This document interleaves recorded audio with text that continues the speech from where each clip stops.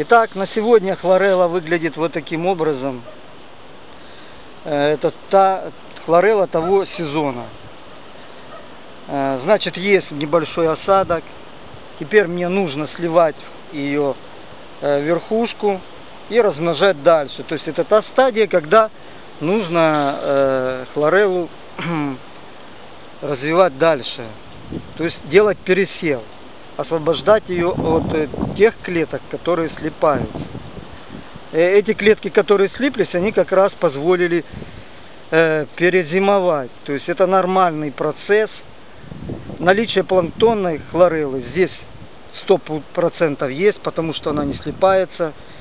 И я ее даже не помешиваю вообще. И сутками ее не трогаю, она стоит зеленая. Но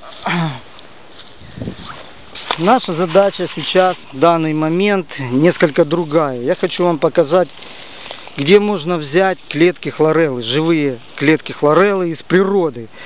Чтобы сделать пересел в свою емкость, нам нужно выделить, выцепить из природы эти репродуктивные клетки.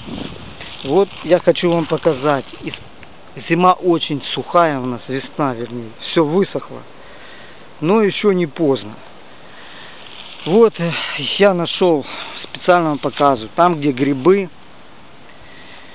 там обязательно будет хлорелла, скорее всего. Вот мох э, вряд ли, я не видел там, но тоже надо пробовать. Вот пенечек, вот так он рос, таким вот образом. И, э, как видите, здесь он отломался, и мицелий живой. Я возьму этот, возьму этот пенечек и в воде бутылек добавлю туда несколько капель гумисола и буду проращивать.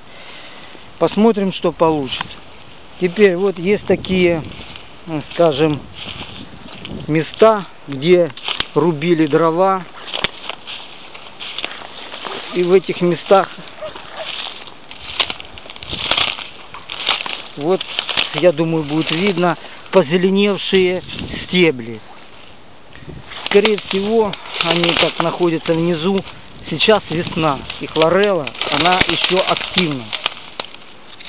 Поэтому вот эти вот можно отрезать кусочки э, этой позеленевшей древесины и тоже поместить. И мы можем получить, особенно под корой так, так развивается хлорелла, потому что там питание.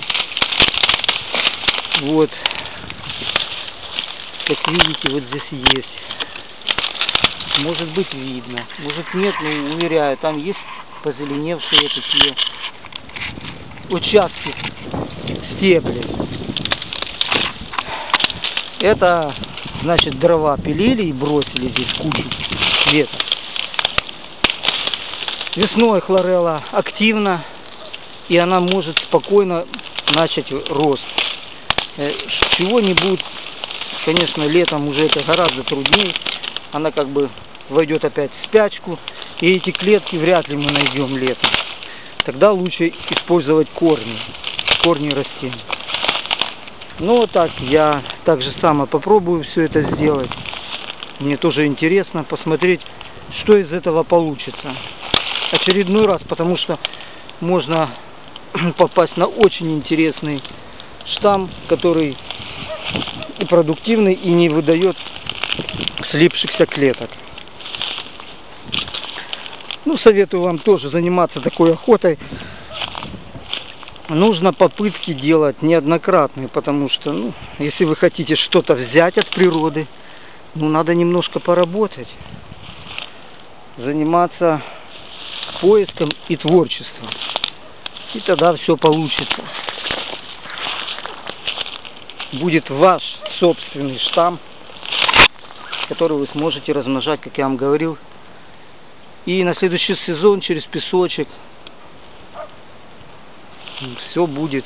В, в, так, это не в баночке, которые никогда вы не вырастете из промышленной хлореллы. Вы никогда не вырастете то, чего вы можете взять в природе. Всем удачи.